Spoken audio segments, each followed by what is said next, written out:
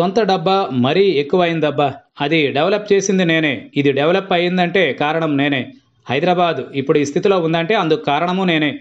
నా హయాంలోనే హైదరాబాద్ డెవలప్ అయింది. నేను ముఖ్యమంత్రి కాకముందు హైదరాబాద్లో డెవలప్మెంట్ పెద్దగా లేదు. అంతా నేనే. ఎటు చూసినా నేనే. ఇది చంద్రబాబు నాయుడు కొట్టుకున్న సెల్ఫ్ డబ్బా. గచ్చిబౌలిలో త్రిపుల్ ఐటీలో జరిగిన కార్యక్రమంలో చంద్రబాబు పాల్గొన్నారు. ఈ సందర్భంగా మాట్లాడుతూ తాను ముఖ్యమంత్రి కాకపోయి ఉంటే హైదరాబాద్ ఈరోజు ఈ విధంగా ఉండేది కాదన్నట్లుగా మాట్లాడారు. ఎంతో ముందు చూపుతో ఇరవై ఐదేళ్ళ క్రితమే తాను ఐటీ రంగానికి వేసిన పునాదుల వల్లే హైదరాబాద్ ఇప్పుడు ఈ స్థాయిలో ఉందని అన్నారు. దేశాన్ని అన్ని రంగాలలో విశ్వగురువుగా ఆవిష్కరించేందుకు తాను విజన్ ట్వంటీ ఫార్టీ సెవెన్ డాక్యుమెంట్ను తయారు చేసినట్లు చెప్పుకున్నారు. బిల్గేట్స్ను రప్పించానన్నారు.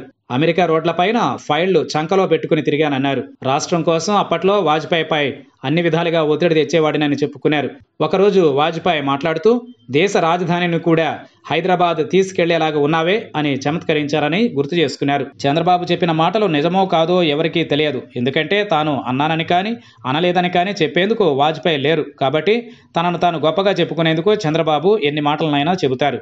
ఇక్కడ చంద్రబాబు మర్చిపోయిందేమంటే తన గురించి తాను చెప్పుకుంటే సెల్ఫ్ డబ్బా అవుతుంది. అదే మరొకళ్ళు చెబితే అభినందన అవుతుందని. చంద్రబాబు గురించి ఎవరూ పాజిటివ్గా చెప్పరు. అందుకని తన గురించి ఉన్నవి లేనివి అన్నీ కలుపుకుని తనకు తానే చెప్పుకుంటారు.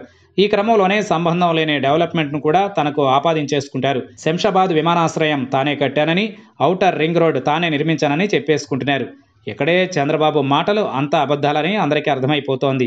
చంద్రబాబు చెప్పుకునే డెవలప్మెంట్ మీద ఈ మధ్యనే అసెంబ్లీలో మంత్రి కేటీఆర్ వేసిన సెటైర్ బ్రహ్మాండంగా పేలి